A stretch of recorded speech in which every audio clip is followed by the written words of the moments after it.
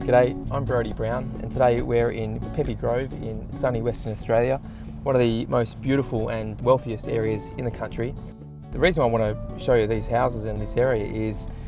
to demonstrate to you what's possible if you know how to manage your debt. And the reason why I say debt is because I know that most of these people would have started off with just a small loan to buy their first property or their first business or investment and then over the course of years or decades, using sound money principles, they've managed to accumulate a huge amount of wealth and live in these massive 10 to 25 million dollar mansions overlooking Matilda Bay where they can wake up every morning and just feel that sense of complete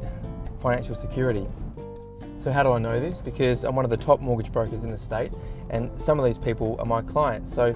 I've written a book, called Millionaire Mortgage Secrets and in that book I tell you how you can apply some of the money principles that these people have used to uh, get into this, this incredible financial situation to your own life. So if living in an area like this and a home like this is something that you aspire to do, then do yourself a favour and download your free copy of Millionaire Mortgage Secrets today.